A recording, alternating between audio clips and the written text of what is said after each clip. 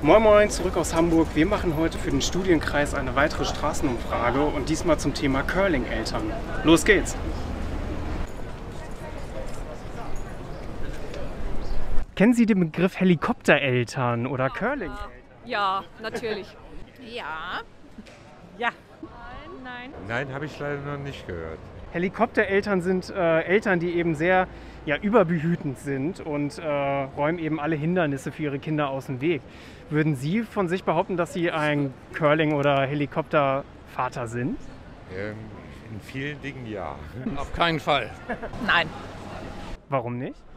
weil ich meinen Kindern immer viel Freiheiten gelassen habe. Weil man Kinder auch mal lassen muss, damit sie Selbstvertrauen kriegen. Also ich hüte, aber ich hüte nicht ständig. Er hat viele Freiheiten, er darf auch viel selber entscheiden, aber wenn Sie jetzt gerade so Flüge werden und Sie gehen alleine länger aus dem Haus oder mal alleine ins Schwimmbad oder Situationen, die man nicht kontrollieren kann, dann äh, ist man schon unruhig, ja. Ich weiß vor allem bei Eltern von meinen Freunden, dass sie halt sehr vorsichtig sind und sich wirklich in jede Angelegenheit mit einmischen. Wenn wir irgendwo hin müssen, zum Arzt oder zu Freunden oder so, meistens versuchen sie uns selber dorthin zu fahren, damit wir keine Transportmittel nutzen. Genauso mit Internet und so gibt es natürlich kleine Lektionen. Wenn die schulischen Leistungen nicht ganz so optimal laufen, da Druck gemacht wird und dann auch versucht wird zu unterstützen, zu helfen. Mein Sohn ist im Studium ne, und äh, da bin ich halt auch immer noch der Übervater. Ich versuche alles für ihn zu regeln. Ich finde es auch wichtig, dass man seinen eigenen Weg geht.